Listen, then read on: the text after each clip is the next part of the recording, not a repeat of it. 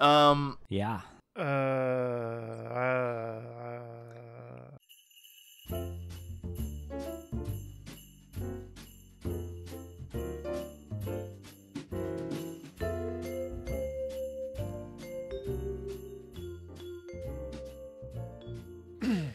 so hey everybody. Hey. We've just been struck by lightning. Yeah. I'm still curled up in a ball. Spit in God's eye and he blinked.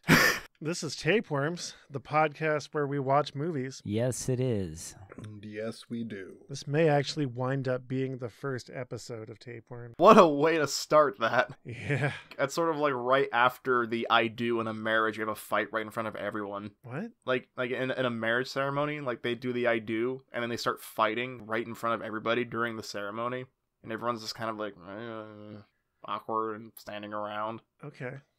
All right. You have a therapist, right, Chris? So, in celebration of the joyous holiday season, Yeah. we watched the Star Wars Holiday Special. Which would only have been improved if there was a centipede in it. God damn it. The walls are breaking. Well- um, Yeah. There was a, a multi armed chef. there was. It's true. Portrayed by star of the show, Harvey Korman. Yeah. 1978 Star Wars spin off television variety show. Directed and written by An asshole. an asshole. Uh, directors and writers that no one's probably heard of, but actually had pretty long careers in television in like the 70s, 80s, and 90s. I don't know what they were doing with this. You know, okay, first of all, it was not as bad as I thought it was gonna be. I, I mean that in terms of like dread of like, oh, is it is it over yet? I felt that way on multiple occasions. Yeah. yeah, by around like the the 40 minute mark for me, it does start to like drag and Right. drag and drag. And to be clear, the, the film's an hour and 37 minutes. It is. And I've seen edits that don't have the television commercials cut out right. that are much longer. They're kind of more fun Yeah. just because it's kind of fun to watch the the era. Commercials. the, the ads from that era. Yeah. But yeah, if you watched this on TV, then not only did you have to deal with its bullshit, but you also had to watch it with occasional ads for like slacks and stuff, Sears and Roebuck. Yep. They would most certainly be calling them slacks. Mm-hmm. mm-hmm. Yeah. Corduroys were popping, all Mhm. that. So it, that, that's funny because like for me, it felt like there was always something to engage with, to like look at and go, why is this here? What is happening? Or there's always something to make a joke at. In a way, it's weirdly effective because it was designed to be a holiday special. Right. So it was designed to be something that was on while your family was together celebrating, not necessarily just to be watched, right? Sure. You know, a variety show kind of thing. And each of the individual segments, uh, the varying in quality, but there was something about each of them that would make you just watch it for a second and say, what the fuck is happening right now?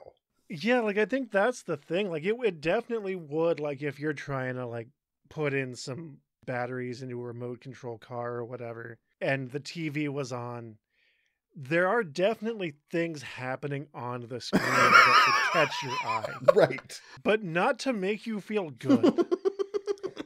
I think the thing that first made me feel bad was when I realized that, well, at first I thought it was a blonde haired Wookiee, and then I was corrected and uh, learned that that was not a blonde haired Wookiee. It was an aging Wookiee. It was like a senior Wookiee Mhm, with mhm. missing Yep. teeth and, and gray hair. It was just Yeah. something about that. That's Chewbacca's father. the only way I can describe that Wookiee's face, all right?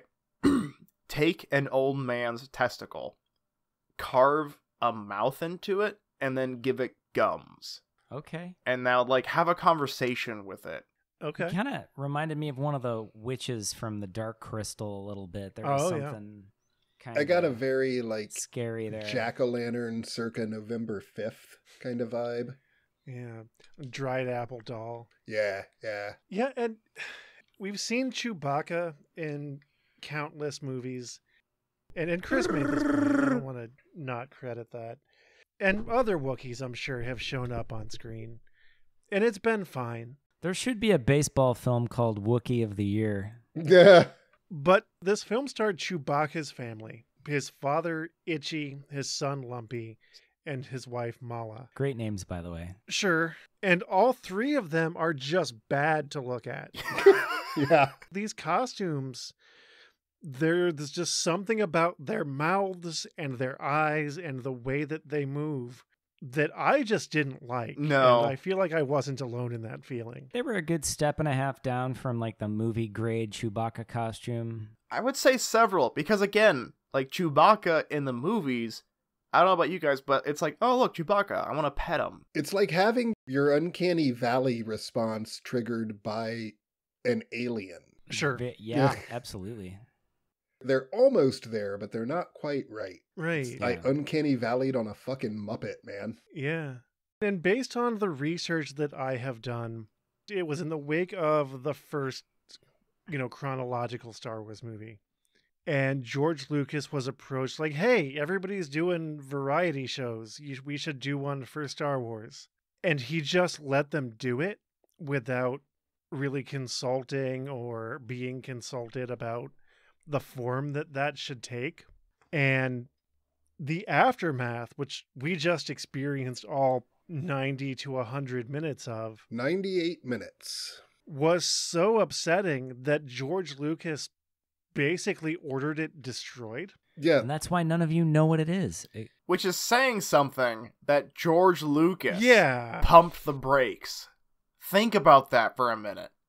Really think about that. It also, I mean, this film was directly responsible for George Lucas becoming the brand fucking fascist that he Hmm. became, you know? Right. He either did it himself or he hired somebody that he trusted to do it. Right. And everything had to go through fucking Skywalker Ranch. Mm-hmm. I'm sure it wasn't profitable. well, made for TV, right? So, Yeah. So, yeah, I guess the definition of profit's a little different. Sure. It, it had to have sponsors. When did this air again?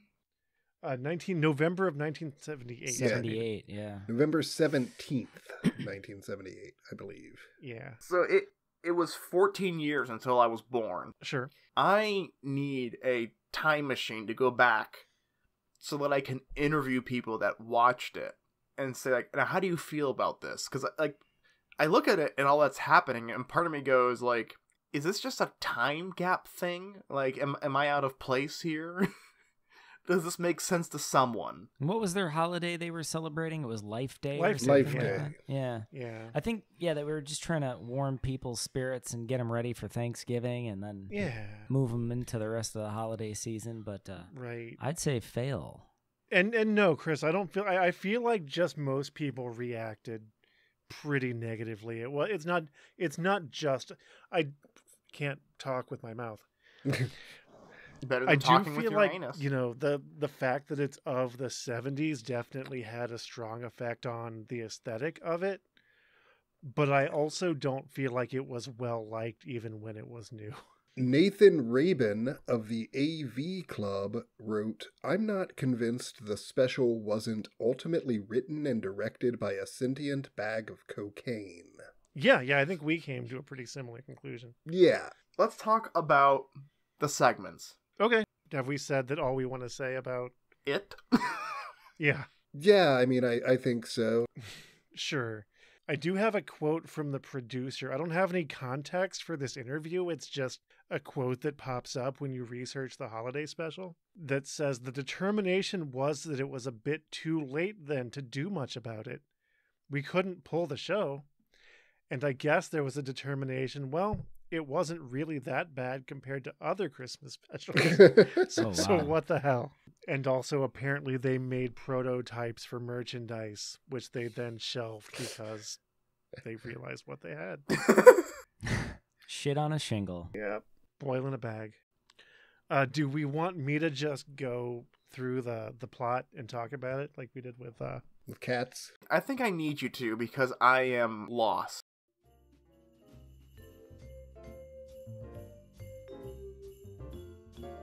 Yeah, our story begins aboard the Millennium Falcon really one of like the only point in the movie that you kind of feel like you're watching Star Wars content is like the first 3 or 4 minutes of a mix of like stock footage and Harrison Ford and Peter Mayhew in the Chewbacca costume clearly working for a paycheck. Harrison Ford often has I'm kind of just doing this for the paycheck energy when he acts. Mm-hmm. And and that was very much the mode he was in. Fighting the Empire, trying to deliver Chewbacca to his family for their Life Day celebration. Life Day being something akin to Christmas for Wookiees. Only not because it's weird AF. We then cut to the planet Kashyyyk. Where someone has made a very bad painting of a Kashyyyk home.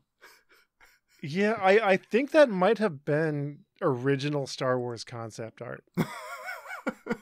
And the young Wookiee had a, a sense of adventure Yeah. Mm-hmm. mm-hmm. with that little stroll down that um, banister that on the other edge would just cause absolute death. Yeah, it's, a, it's it's far to the It's a long drop. Yeah. It's a big tree house. Yeah, you know, uh, a- a species that lives in one mile tall trees, you think that the urge to walk on railings would be a not selected for survival trait. Right. Like even if they're confident in their reflexes, like you wouldn't think that because that's that's one fall and it's You're ju- done. You're just gone. not Yeah. alive anymore. And I, I don't necessarily like knowing Chewbacca through the uh, the Star Wars series. I don't know him for his agility. And I do want to point out because the thing that I struggle with is this show was just put on ABC for just audiences of Americans to watch with no warning. the second thing you see after a space battle and some like introduction are people in furry animal costumes speaking in an unsubtitled language of moaning, growling, and kind of garbage disposal sounds. Now, I want to point out that m- cartoons and media have done this before. Like the the opening of Up, not a single line, but we watch this couple, and you you catch every story bit. You guys know what I'm, what I'm talking about? The opening of Up. I Yeah, know what you sure, mean. yeah. Not one word, but yeah, we there's nothing. faces. In this, you have people in masks Yeah. who cannot emote, making noises that you cannot understand. Yeah. and trying to convey intent through Yeah. body language that is hindered by clumsily made suits. Right. It's honestly just brilliant, absurdist filmmaking. It does seem like something that like a student filmmaker would do. Eddie a, Kaufman. Yeah, I could see it being a Kaufman bit. But but just like as a, a short film, just to be weird for the sake of it. I mean, I used to say that I wanted to make a movie that was about first contact between two alien species Mhm. that took place entirely in their languages with no subtitles. Sure. So, yeah, it's uh I respect this. I respect the existence of this Right. in a really weird way. Yeah. And these Wookiees are kind of just doing domestic stuff. They're just hanging out. little cooking. A little... Yeah. There's a bowl of what's apparently called a Wookie Ookie. Has a Wikipedia entry. And because there's no subtitles, because there's nothing, the only way I can phrase this is Stinky just decides to watch Circus Soleil. But real quick, real quick, actually, before we go on that journey, because I'm using the the Wikipedia article to give me kind of a plot synopsis to go off of. And there's a link for Wookie Ookie, first off. And I'm like, that's interesting. So I clicked it. It has the most upsetting drawing I've ever seen in my life. Hang on. I gotta see. Oh no! I'm going to have to put it in the thumbnail Make it the backdrop of the entire episode. Because I hate it the most. He's. Th- These are my Wookie Wookies, precious. Yeah, it's a very Gollum esque Wookie. I, I assume it's lumpy. Just holding a bowl of these Wookie Ookie cookies. I love Star Wars naming conventions because, like, the only parallel to this in real life is like humus, like human humus, like Wookie Ookie, like what? I mean, pastries often have whimsical kind of names, like like Nutty Buddies, and Yes, but they're not called Humy Humes. that's valid. Wookie on the cookie. But yeah, that's the worst. Don't or do I guess go to the Wookie Ookie entry in Wikipedia because holy shit, Because you won't be able to unsee it. yeah. I'm gonna have to put it in the thumbnail. Hopefully, Lucasfilm doesn't sue me. Wouldn't they sue the Wikipedia? I don't know. So Circus Delay happened. Yeah, Cirque du Soleil, just people in tight costumes doing a weird circus act. That are supposed to be little holograms. Yeah, it's surreal. It's a little bit upsetting. And it goes on for a lot longer than you would hope for. it's a lot like life in that way. Sure. It has this weird, like, wow, wow, wow, wow synth motif that runs through it that is the soundtrack to Going Mad. And speaking of the soundtrack, I actually, uh, well, I hated it, but I noticed that there were quite a few composers involved in addition to the band. Um, what was it, Jefferson Star? I think it was Jefferson, yeah. Yeah, Jefferson Yeah. Starship. So, but yeah, there's, I, I'm seeing this list here. There's John Williams, Ian Fraser, and then Ken and Mitzi Welch. All right. All composers given credit to this. Well, John Williams only Mhm. because they used his original star. Yeah, John Williams was the Star Trek, Sure. compo- Star Star Wars composer. Whoa. wrote the theme. Whoa. Yeah, I know I'm gonna get beaten up by nerds. No. So yeah, that happens for a little while. We watch this weird circus performance. Many things happen for some reason. Many Yeah. things. Really, the whole special is just things occurring on a screen, and very little justification is given. I, it's it's really just watch. It's it's this weird voyeuristic experience of watching people watch television. Yeah, it's very Lynchian in that way.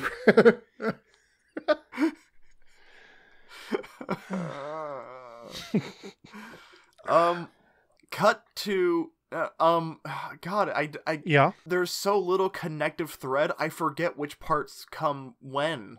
Well, that's the point when we learn that the family is concerned because Chewbacca is late. No, no, no, no. Before that, we go Huh? to what's his face's store where he sells things. No, no, that's after. They call Luke Skywalker before we go to the guy's Yeah. store. Oh, right, right. Yeah, yeah. The family is concerned because Chewbacca is tardy for Life Day because they're, you know, they got in the space battle with the Yeah. Empire.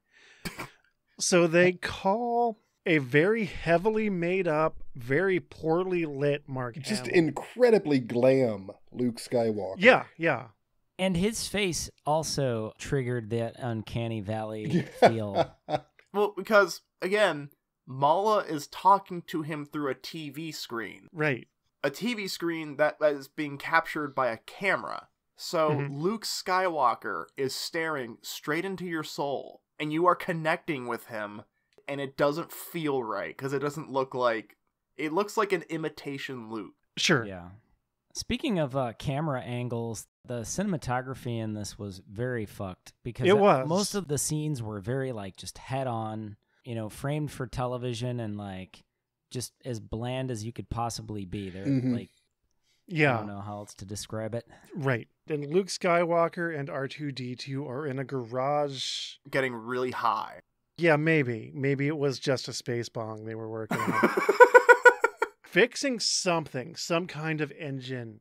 They have a lot of whimsical hijinks where they're doused in what I assume would be boiling hot steam and just getting chemical burns. That would explain some things. But it's played for laughs. and isn't it funny? There's smoke coming out of a thing, and that's not what Yeah. Luke wants. That's the joke. R2 smoke's coming out of the tube. That was pretty on brand for that era Luke Skywalker, though. Oh, sure. He was kind of just a little putz. A little slapsticky. Yeah. You know what's honestly amazing to me? What's What? that? The fact that Star Wars has become a global institution and a major cornerstone of American and worldwide culture, and there's like one and a half good movies. yeah. Yeah, I mean, I I like the sequel trilogy more than a lot of people do, I think each one of them is individually a great film. but they don't work as a trilogy. Yeah, they just don't work together. I don't disagree. I enjoyed the Han Solo spinoff. Yeah, I like Solo too. Yeah. So after speaking to Luke, then uh, we we find out that Luke don't know shit. Yeah. And uh, then she contacts uh, Saun Dann. Yeah. Who has a shop where he sells cubes and Cubes and cylinders. yeah, yeah, He um, just sells shapes. plastic things here. Yeah. This is a clear acrylic. Would you like it? Filled with weird creatures. Also, real quick, a lot of the special is people talking to Wookiees and Yeah. shot reverse shot. Yeah. And there is something deeply disturbing about like going from looking at a human face to cutting to the Wookiee faces. There's something about that direct contrast. Yeah, because these Wookiees were so awful. Mm-hmm. So we go, we go to a store that sells things. Saun Dann, played by Art Carney, who was apparently a well-known actor in his day. I'm unfamiliar with his he work. was in the Honeymooners. Okay, sure. I have seen the Honeymooners, but it's been decades. Yeah, he was like the neighbor, Jackie Gleason's neighbor. Oh, sure. And he's hassled by an Imperial guy, Imperial mustache dad. Imperial mustache dad. I'm unsure of this person's position in the Imperial military, but he does use his position to commit petty thievery from shop owners. by stealing a cube. Yeah. Apparently, it's some kind of grooming apparatus. Oh no, right. I think it was a toothbrush harmonic.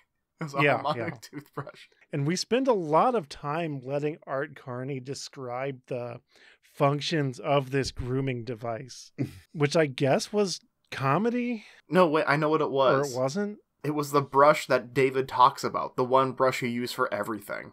That's why he needed it. Well, that makes sense. Yeah. I think that was like he described it being a a multi-function grooming apparatus. Yeah, it's just the one brush you use for everything. Yeah. That uh, Imperial technician is going to save so much time. It's true. Yep. And water. So that happens. Yeah. Uh, we're quickly taken to some overdubbed footage from the original Star Wars film, in which an Imperial officer informs Darth Vader that the Empire is looking for rebels on the planet Kashyyyk, which is the premise of the special to the extent that it has one. And Darth Vader says to do a house to house search to find the, the rebels, whatever. But they spend the entire time at Chewbacca's house. Yep, yep, yep. We're then taken to Malla watching an English language cooking show. Cooking Panther. Bantha. Was it Bantha? It was Bantha, yeah. Okay, I was. That makes more sense. Yeah, Sure. Mild amount of more sense. Where and, and David, you recognize that actor as someone? Oh, uh, that was Harvey Korman. Okay. He was uh, on the Carol Burnett show, and Okay, uh, sure. Also on uh, Archie Bunker, I think. Okay. Yeah, he was well known in the seventies. Sure. In drag, I guess, Mm-hmm. and a weird alien costume With forearms. with forearms that pop out kind of one at a time. Yeah, it's kind of a gag. One comes out. Yeah, and like then- an arm appears to like do a cooking task. and then later a fourth one pops out. And yeah, I mean, Can we make it a rule that unless we say, and it didn't look that bad, that everything that we describe, you have to assume looks off in a disturbing way? And just on some level horrifying. like. But yeah, there's an extended sequence with what I assume to have been actual slabs of raw meat. I don't feel like they had prop meat to do this bit with. no, it was probably real meat. Yeah. yeah, where the actor on the show with forearms and weird makeup, also, blackface. I. It just was. it was a little blackfacey, yeah, now that you pointed out. Just kind of play with this chunk of meat for a while. Sing a song, and then say, cooking can be fun, as if people don't enjoy cooking when they do. Yeah. And Malla gets frustrated because she can't keep up with the four armed alien chef, gets mad and turns the show off, and just sets the pot of raw meat off camera somewhere, never to be seen again. The audience doesn't know if she cooks it or what happens to it after it's it's done. That was the scene. So whatever you got out of that was what you were supposed to get out of it. Depression. I, I need you to to send in your letters letting us know individually what you got out of each scene. I have to know. Yeah. We briefly go back to a mix of old Star Wars footage and fresh Harrison Ford phoning it in and some space battle stuff. Yeah, lots of lasers. Yeah. Don't forget the cartoon. We're not there We're yet. not- the we're not cartoon's there not yet. until like the second No, half. but don't forget it, you know? You know, don't forget the cartoon. We won't. We Okay. won't. It's okay. It's impossible to forget that cartoon. We're taken back to the Wookiee family fucking around, growling and, and snorting at each other. Uh, but we know what they were talking about, though, right? You kind of got the gist of it. I suppose. You do though, actually, which is kind of cool. Yeah, yeah. but then the shopkeeper shows up and gives the dad porn. Yeah, yeah. The, and then Art Carney, shopkeeper, shows up and tells the family, like, oh, this Empire thing is happening. Right, because he's you know part of the rebels. Yeah, yeah. Apparently he's he's a rebel as well.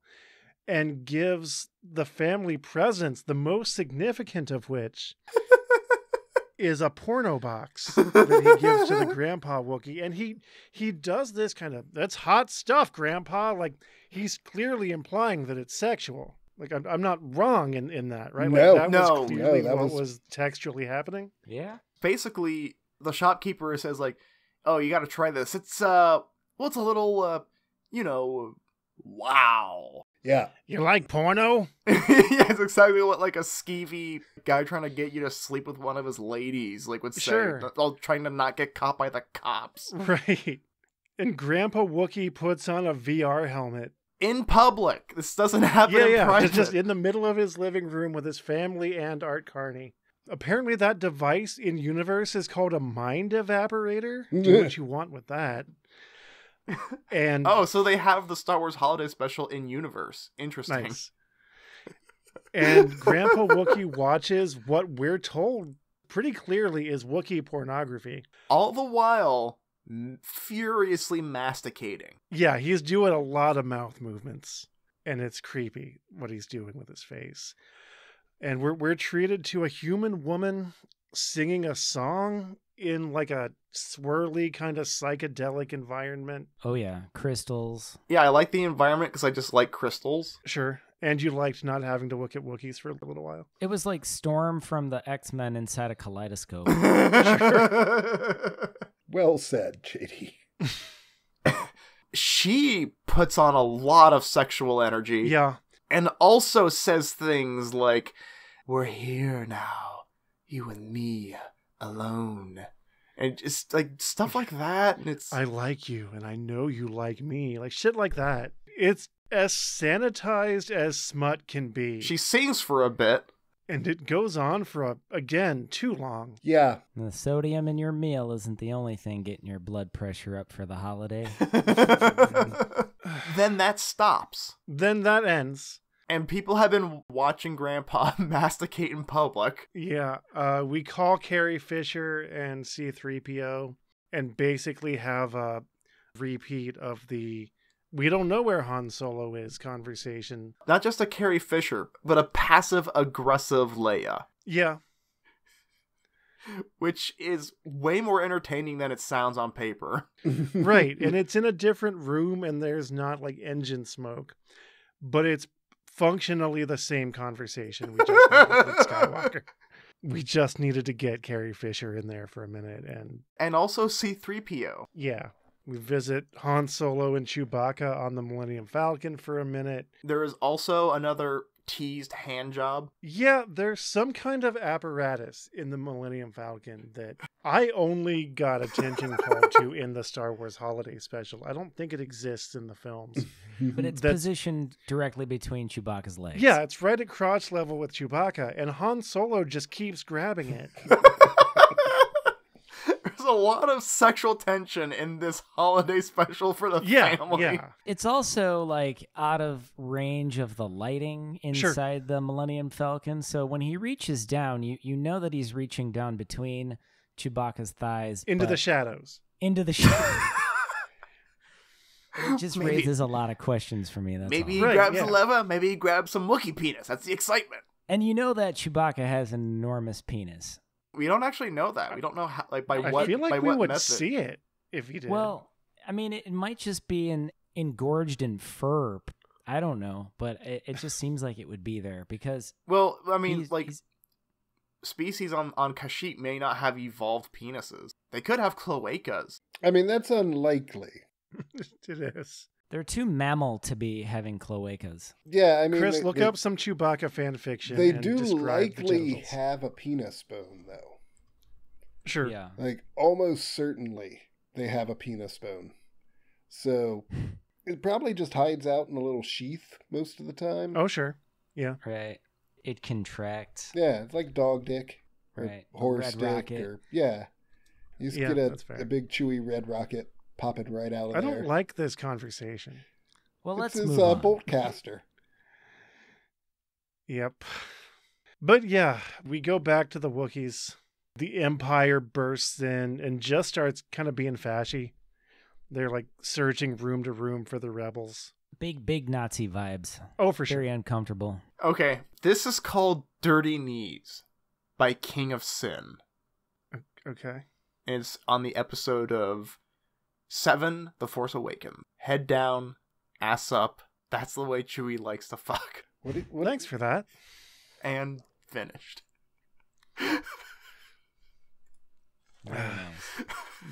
Yeah, that's gonna fit into the episode nicely. Yeah, yeah. And various hijinks occur while the stormtroopers search this house for political dissidents. I feel like there's some tonal wobbliness there between Yeah. what we're being told is happening on the screen and how the audience is meant to feel about it. Hmm. Maybe might just How did be you me. feel about it? Uh, but yeah, what we're told is happening is a functionally a Gestapo raid on this family, but there are jokes. And I'm confused by that. Maybe I'm just overthinking. it's the funny, funny fascism, Yeah, I mean, admittedly, Hogan's Heroes exists, so like, right? I don't know. I don't know. It had more um, adjacency to Spaceballs, in my opinion. Oh, sure, definitely some of that. Yeah, I mean, they weren't really buffooning them specifically, but uh, it, it was very strange. Very It was a little the- weird. The um, what's the f- dark forces called again? Whatever they're uh, the Empire. The Empire, thank you. The Empire commander heading the raid, he, he just had like a gigantic penis shaped helmet on, and then Yeah. there's his mustache. It was just like almost comical. It reminded me of, I know that it came out before Spaceballs, but there's just something about it that Oh, made sure. me think that maybe that there was something there, like maybe Mel Brooks saw this comedy special, or I see mean. But one of the ways the family attempts to distract the Imperial stormtroopers is with a music box, which is different from the box that Uncle Grandpa watches the Wookiee porno on, and the machine that they're using to call Luke Skywalker and Princess Leia, and the machine that they watch the cooking show on. These are all different devices. and the machine that Lumpy used to uh, play a game, aka uh, watch a cartoon about the the Sure. Rebel Alliance. to be fair, in general, circa 1978, Mhm. that wouldn't be all that unlikely. Like you, Oh, you that's would have had to have a different device for each of those things. Right. Yeah, I kind of forgot about that. And I feel like appliances were popping off at that time. Like, But yeah, we get to watch a live performance by the band Jefferson Starship, I believe they were in Mhm. 1978, hmm hmm playing just pretty standard 70s rock. that guitar player slayed though. Yeah, he was going hard. I thought was going to lead to something. No. Like I thought it was going to lead to the rebels launching an attack or something, but it didn't. No. Yeah, like there was even a moment where the camera, like we left the concert for a minute. Right. And we showed Lumpy standing behind one of the Imperials watching it. Oh, like, oh, he's going to hit him in the back of the head and it's going to be like a fun, but no. I could even imagine a spin-off documentary like something that turned into uh, something else like Spinal Tap. We did come up with a much better concept for a holiday special than, than this. That being an up and coming band Played by Jefferson Starship. Yeah. going around the, the Star Wars universe, getting gigs and, and making it from one planet to the next. I think that could be fun. Time travel, baby. I would play in an all barred Star Wars campaign. That, yeah, could be super Ray's fun. fingers fidgeted, and she avoided eye contact. She had no Stop. idea how to Stop ask it. what she wanted to ask every other time he had been done as a transaction. The idea of actually asking someone, especially a friend, I'm was gonna need you completely to stop. foreign that. to just, just gonna need you to stop. Fired. Joe, Poor you, you told me to, Joe. Yeah, I didn't mean it though. Uh, But yeah, we watched Jefferson Starship rock out for again entirely too long. It was about a what seven minutes. It felt like it, yeah. With a maybe a corn dog, maybe a dildo. We don't. Know. Yeah, because they were playing just their regular, you know, rock and roll instruments, but they made them science fiction by just like going back over the film with like a light effect. and giving one of them a, a corn dog to sing into. And and yeah, it just turned the microphone into a weird corn dog slash dildo made of light. there was an evolution to that image. It started off as possibly the silhouette of a penis. It was pretty phallic, and yeah. then it evolved into like now it looks like a lightsaber sort of and then it turned into oh that's a cosmic corn dog right, or like a nuclear corn dog and then corn it, dog. it then it was became clearly a microphone and Yeah, still in a different just type an of shape. envelope. This, of, this yeah, goes to show you how interested we were in the performances that we were like, but once that guitar player started ripping Oh, I yeah, he was like- going I was hard. into it yeah he was like he did pelvic thrusting and it was a gyrating. good solo Yeah, yeah and and yeah, like I said that, and it was disparaging to the acts, but this was the one act I liked the most. it's a low bar. Yeah, but like I was actually like, oh, this is music.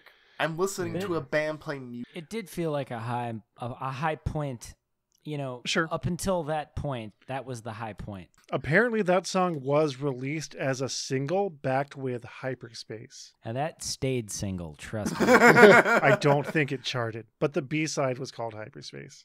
so then that recording ends, Yeah, and then the, the technician gets up and yeah. continues. Well, before that, Art Carney just gets bored and goes, I guess I can't help with this, and just leaves the, the show for a while. Yep.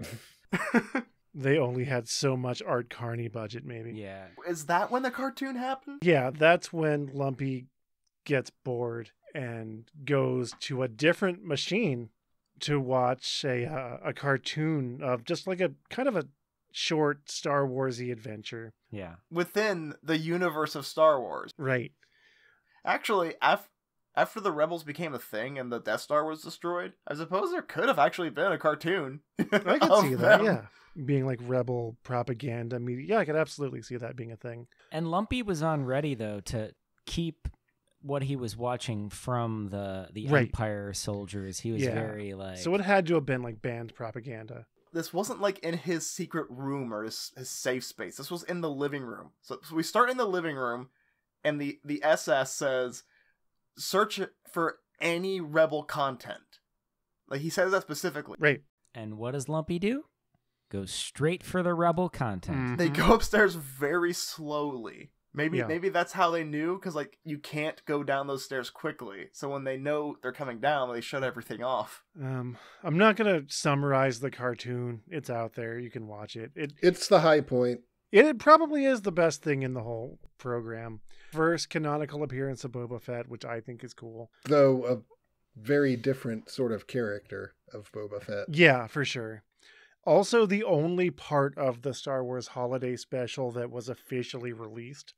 Apparently, it was a hidden feature on one of the DVD releases of the trilogy. It was like a secret bonus feature, and it was released onto Disney Plus when they started making noise about the uh, Boba Fett television show. Yeah, cool animation style. It did, yeah. Yeah. It reminded me of heavy metal a little bit. Yeah, or Aeon Flux. I Sure. Sure. I, gave me some Aeon Flux vibes. A little bit Ralph Bakshi, a little bit uh, Moebius. Oh yeah, just very '70s, like the artistic style of animation. Mhm. Sure. Little juddery. A, Yeah. a little adventure happens, and then that ends, and Yep. the SS come back down, and we go on as if nothing had changed. Yeah, Lumpy gets excited about the cartoon and goes ah and makes a noise. And the Imperials are like, "What the fuck are you doing?" And he flips a switch real quick. Like, I'm just playing a game. Fuck off. It's a game where one, two, three, four comes up. Yeah, it's like a broke. It's like a Sudoku that's not working correctly.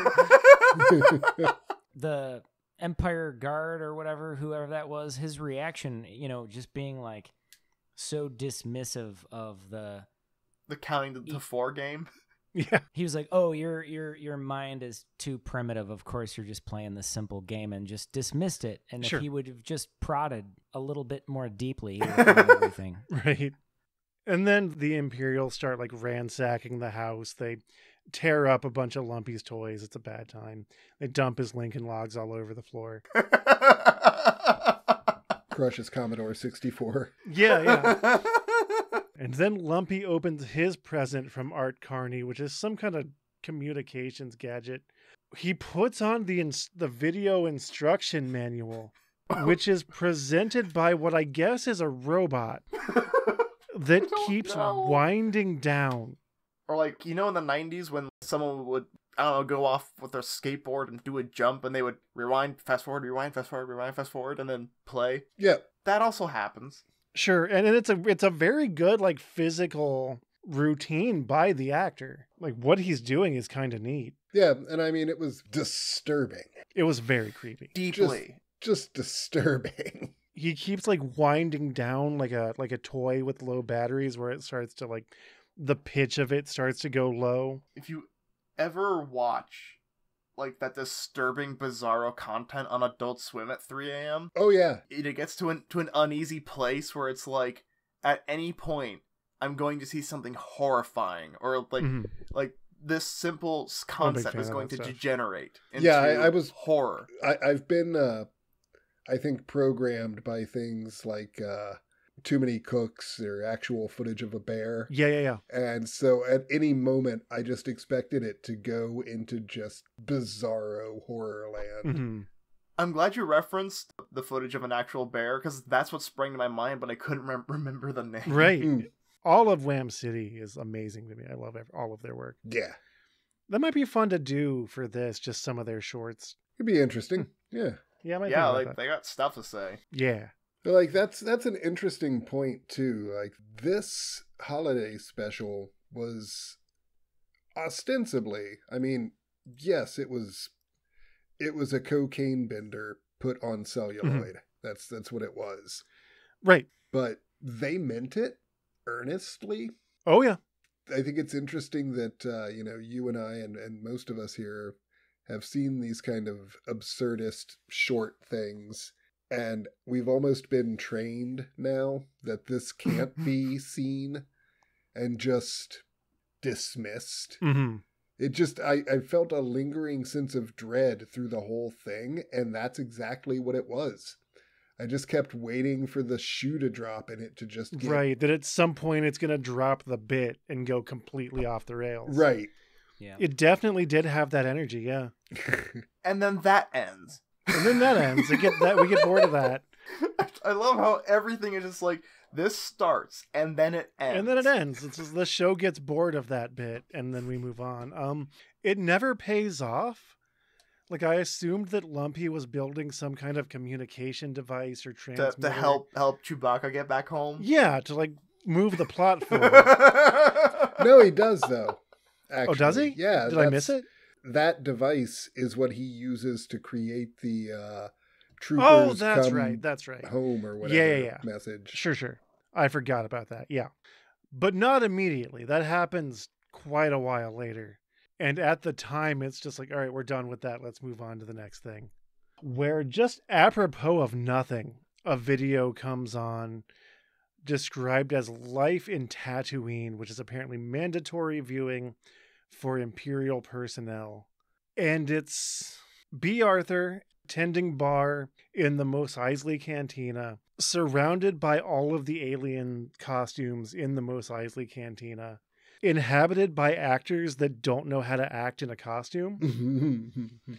So they're just there. They're just costumes standing around. It's fine. I want everyone who gives a damn to look at the costumes in this lighting and look at how they use lighting in New Hope Mhm. to cover up. Yeah, yeah. flaws That's of another these. fatal flaw is that they the whole room is very brightly lit. Ju- everything's illuminated. Yeah. it was TV, TV lighting. Oh yeah. Bea Arthur is pretty aggressively sexually harassed by an alien with a divot in his head. who is also played by Harvey Korman. Oh sure. And so was the robot guy, by the way. Huh. And I don't want to brush over that because in this family film for the holidays, we have bad touch. Yeah. Yeah, yeah. Like he he goes behind the bar and like grabs Bea Arthur. It's And there's a point where he Mhm. smells her hair. yeah, yeah. And then he starts talking about how she will figure out that she does love him. Like she just Yeah, doesn't know it Which is the kind of shit you see in a manifesto. Did that just play better in the 70s? I'm guessing so. Yeah, like it was uh, back then comedy, you know, oh, this guy won't take no for an answer. Ha ha ha ha. sure. I'm trying to think of bits where they've done that in a family friendly way. I guess maybe uh I do feel like that's a trope.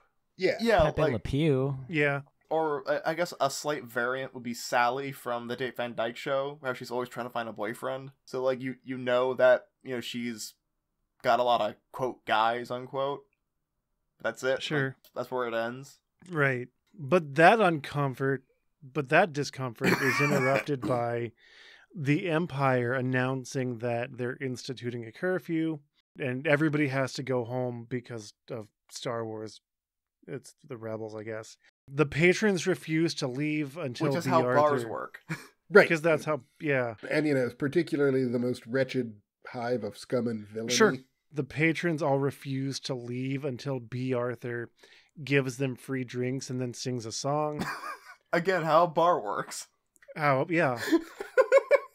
All right, we're getting free drinks and entertainment. Everybody leave. It's I do wonder if Bea Arthur did more singing in her career than I was aware of because I did like her voice. I looked up uh, a few uh, albums, but they were comedy albums. Okay. Uh, I don't believe she ever put out any Sure. um, musical. Was that still back in during a time where like to get into showbiz you had to sing, dance, be funny, be be a good actor, like you had to do all yeah, all you had to be a whole jack of all trades, especially in that era. You know. Everybody leaves except the sexually aggressive volcano head guy. It's kind of implied that maybe they get together in the end. Well, well, don't forget this romance, this deep, great romance for the ages, was sparked by Bea Arthur saying to him, "Thanks for coming in. Come by next time." Yeah. But she said that to all of her patrons. Yeah. Which and and she does. He witnesses this, realizes his folly. That when she said that to him originally, that was not a declaration of love, Right. It was just customer which conversation. ruins And then he just like puts his face on the Yeah. bar and for the whole bit is just face down on the bar having He's a embarrassed. moment. Yeah. Shot down by Bea Arthur. Yeah, I'd, I'd I'd be be, embarrassed. embarrassed too. No, I wouldn't. She's got better people to see than me. That's fair. That bit ends. Oh god damn it. Yeah. Then Lumpy uses the device that he built that I forgot served a purpose to trick the Imperials into leaving the house. Crack fucking military, man, let me tell you. Yep. One stays. Yeah. And yeah, one stays behind. Han Solo so- shows up, and because again, this is a family comedy for Yep. the holidays, they Mhm. don't actually kill him with violence. They trick him to running through, like like fucking Looney Tunes style, a Yeah. railing and falling to his implied death. Right. With a Wilhelm scream. Mhm. One of the better performances of the movie. Um, Han Solo, Chewbacca, and the Chewbacca family are reunited. Family Baka. Where Han Solo says to them, "You're like family to me." Yeah. I don't even care to go into it at this point. Eh, yeah, I mean, I could see, like, you know, that's his best friend. Like, I could kind of see, especially since, you know, Han Solo doesn't really have family of his own. Like, I could see there being that emotional connection, but I don't know. It doesn't matter. How much does Han actually like Chewie outside of just trusting him? I mean, They're he's good he's- friends. Yeah, he seems to be pretty good friends They're with like, him. yeah, they're like brothers, yeah.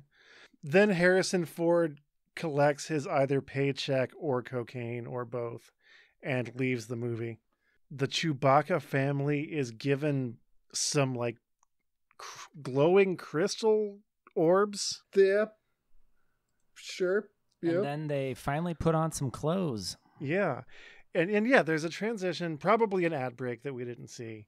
And the next thing that happens is all of these Wookiees are in just the void. They're just in the darkness with fog machine all around them. They walk into the light, Yeah. They're kind of in in the kaleidoscope but just Yeah. just we like mentioned earlier, like- something like it.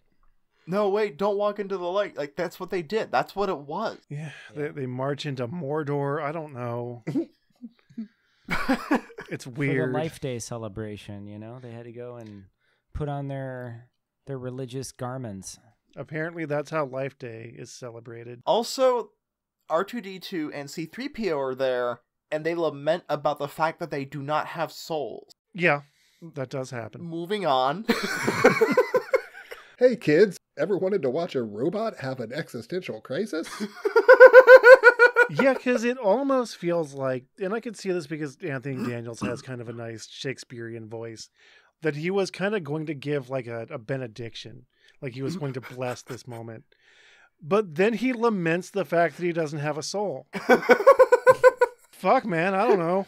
I wish we had feelings so that we could share this moment with you, but we are Right. stuck inside of our metal frames. My body is a prison. yearning. They definitely had feelings because I mean, uh, C-3PO is always terrified. Yeah, yeah. It's kind of like a Wizard of Oz scenario where it's like, oh, you had the heart all along, you Sure. had the brains. Yeah. Carrie Fisher then sings. Yeah, Mark Hamill and and Harrison Ford and Carrie Fisher all come out.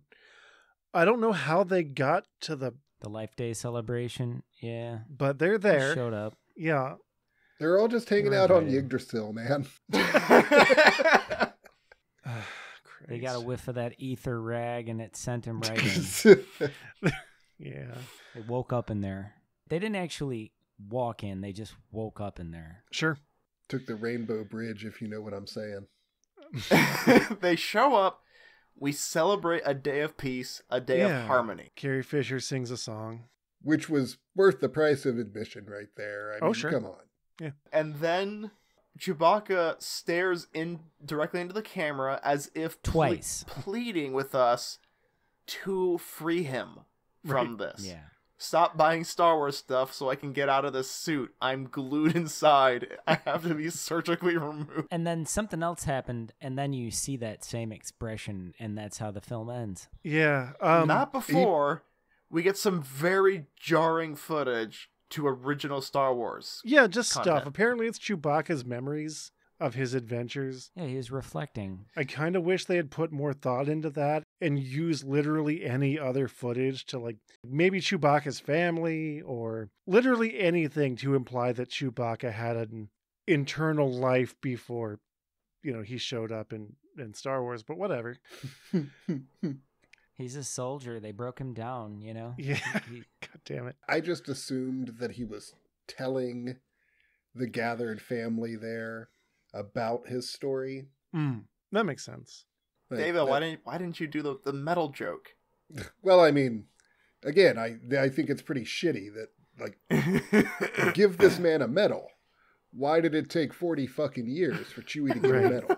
Um, I actually do know why he wasn't given a medal. Oh yeah, That's right. That's right. And in in the original thing, like it's disrespectful to give Wookiees medal. Like they don't. Well, like no, it. I mean that's not why. That's the retroactive continuity reason why, but that's not actually why. why is it? Carrie Fisher is so much shorter than Peter Mayhew and the costume is so inflexible that there was no good re- way to to shoot it. Because he couldn't bend down and she couldn't Right. get up there. Right. Exactly. And so they just didn't. Why not just give like in the scene have a little thing that Leia steps onto to a I think they have that for like medal ceremony. I don't know. They just didn't do it that way. Are you sure it wasn't something like a like a respect thing though? Like why he didn't get a medal? Is it because I know in like China and Taiwan, burping is like a high form of flattery after a meal. I don't know how those two things are connected. What? What he's saying is that in the Wookiee culture, giving them a medal may be a sign of defamation or something. I mean, that might be why Yeah. they culturally Yeah. retroactively explained it. Right. But practically speaking, it didn't happen because when they were making the movie, they couldn't make it look good on camera. Exactly. Yeah. Gotcha. Wait, movie? Star Wars isn't real? No. That would have been cool if there was like a little step ladder that Carrie Fisher could have like. Sure. No, no, Right. no. A, a royal crane like comes down. Just a Fucking drone. cherry picker. Fucking drone comes over and gave grabs it. Chewie a little throne to sit in, something very regal looking. That would, Yeah, they could. How about something? He's just Yeah. on his knees. Because yeah, I know he can sit, but he couldn't kneel. Mm. So that's that's you know the why of. So yeah, they could have given him some kind of chair. I don't know. yeah. Whatever. The last thing we see before our minds finally unravel is uh the Chewbacca family, I guess, bowing their heads in prayer before eating their roast beast. Praying to God to forgive them for their existing. That was Who Hash, Joe. Oh. And that's the plot then- of the Star Wars holiday special. And then it stops playing.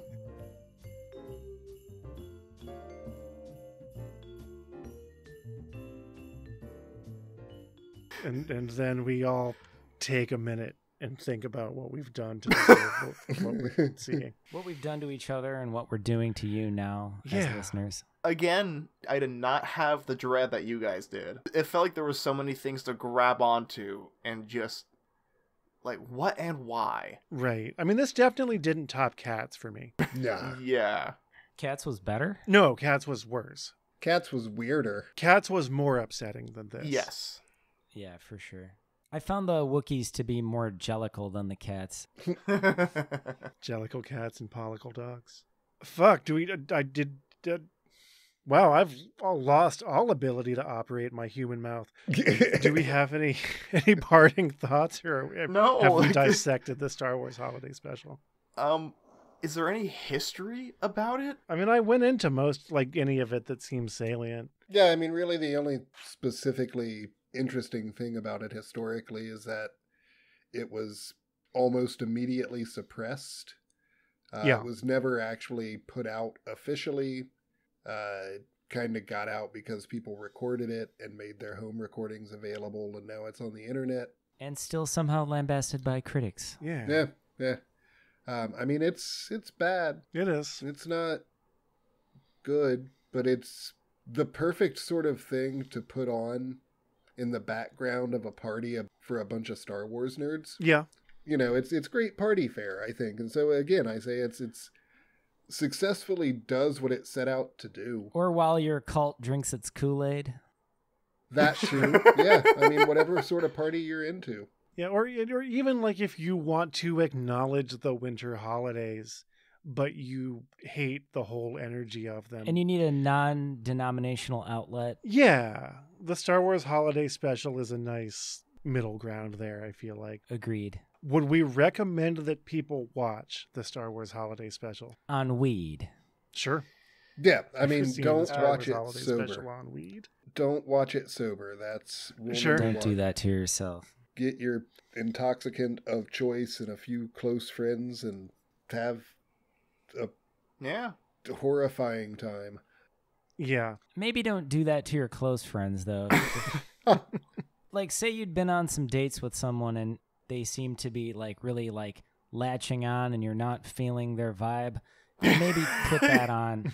Have them over, put that on, and just pretend like you're into it for an hour and 37 minutes, and then watch them fly out the front door. An interesting bit of trivia. Apparently, Carrie Fisher asked for a copy, and later in life claimed that she uses it to uh, clear parties. Wow. Okay. That's uh, that makes sense. Also, apparently, the Wookiee costumes were torture, and the actors had to take them off every hour because they were suffering oxygen deprivation. oh, Jesus Christ. And they were as furry on the inside as they were on the outside, and it created major skin irritations. I just made that up. They didn't need to be. That was a choice they made. They wanted the actors to feel like, And we all know Wookiees are fuzzy on the inside, too. yeah. Did you say they wanted the actors to feel like us? I mean, I didn't, but that's funnier than what I said, so we'll go with it. oh. and rest assured, JD, I would never watch this movie with people I actually liked. Yeah, but that's because you don't like anyone. Touche. Oh, and also the reason why the scene at the Life Day scene at the end looks like it looks is because they literally ran out of money and basically had to use like candles and construction paper. That is beautiful. And the extras didn't have actual Wookiee costumes; they just had. That's why they had the masks. robes. Yeah, they had Chewbacca masks and robes. That is beautiful. Yep. That adds up. Yeah. All right. I think I'm going to wrap us up. If you enjoyed this, I don't know why you would, but But on the offshoot that you but did, if you did, you can go to wegiveYouBrainworms.com and you can find our Patreon. You can get into our Discord. You can learn about all of our other things that we do.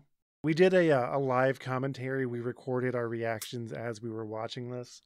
I'm thinking $5 and up patrons will get that commentary. Yeah. And you can watch the Star Wars Holiday Special with us.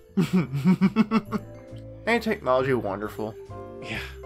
Whatever you do or don't celebrate in the, the winter holiday season, I hope you enjoy it. Yep. Sorry. Stay warm, y'all. Yeah. Thanks for listening. Yeah. Thank you.